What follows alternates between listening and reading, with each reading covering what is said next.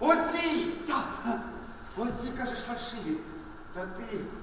Ти давай мені таких грошей, хоч нам тут прийму. А, а як же ти, як же ти їх розбираєш? а? Мы? Це секрет. На нашому все знать. Комедія «100 тисяч була написана у далекому 1889 році, але її актуальність сьогодні важко переоцінити. У виставі яскраво простежується сатира на людську жадібність і нездорове бажання до збагачення. Головний режисер переконує, що у сучасних реаліях цю виставу варто переглянути. А що буває, коли непомірна жадібність керує людиною?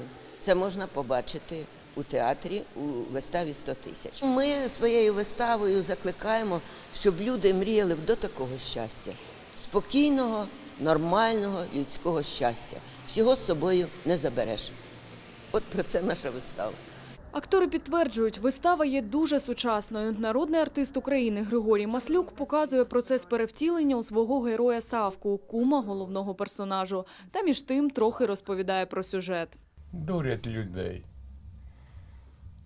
Випускають фальшиві гроші, цим живуть.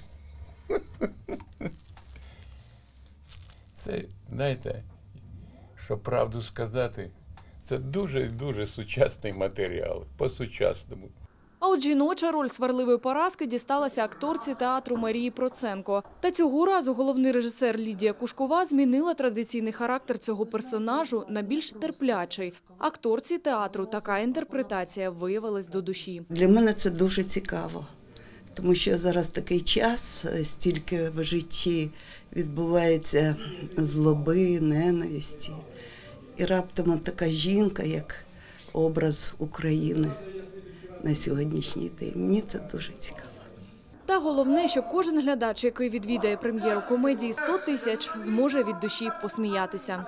Анастасія Блохіна, Євген Хисний. Новини 11 каналу.